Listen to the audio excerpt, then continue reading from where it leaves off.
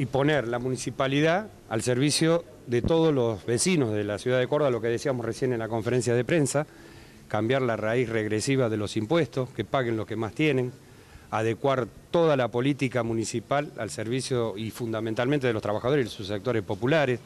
Tenemos el 50% de los vecinos de Córdoba sin cloaca, el 6% sin agua potable, los problemas del transporte, los problemas, los graves problemas de la vivienda que tenemos. Y eso no se soluciona a través de los grupos económicos de los que se vinieron favoreciendo todos estos últimos años, sino con una política destinada hacia los que más la necesitan. Es una política de subsidios, de prebendas, de negociados. Entonces nosotros queremos terminar con todo eso. Queremos decirle la verdad a los vecinos de Córdoba y que con la participación de los vecinos de Córdoba, hoy lo que explicaba el compañero diciendo de que el Consejo Deliberante eh, levanta la mano y se acabó y le votó todo a Giacomino, y hoy está, vemos la situación en la que se encuentra la ciudad. Entonces, para cambiar todo eso necesitamos profundamente la participación de todos los vecinos, darle el lugar a los vecinos y a los trabajadores a que puedan controlar las empresas del Estado. Por eso nosotros llamamos a municipalizar todo el transporte, pero bajo control de trabajadores y usuarios. Hoy se habló y se planteó el tema de las tragamonedas. Eh, ¿Qué, visión tienen ustedes del tema? Miren, lo de tragamonedas nosotros estamos en contra de eso, porque evidentemente los lugares donde hay, este, ocurre un gran problema con los bolsillos de los trabajadores. Los trabajadores en la desesperación, con los sueldos que trabajan.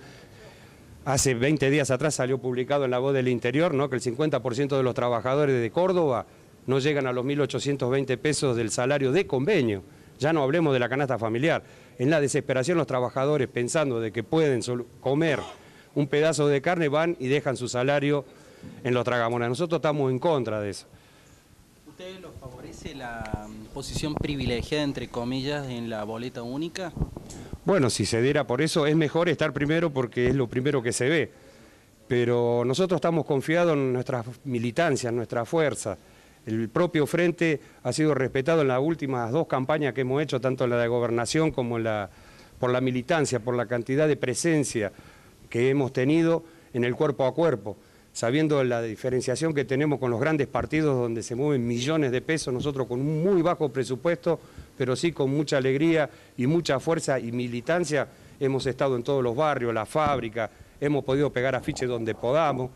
Entonces, esa es nuestra tranquilidad y esa sería nuestra suerte, confiar en la militancia. ¿Esa suerte puede significar colocar un concejal en el Consejo Deliberante?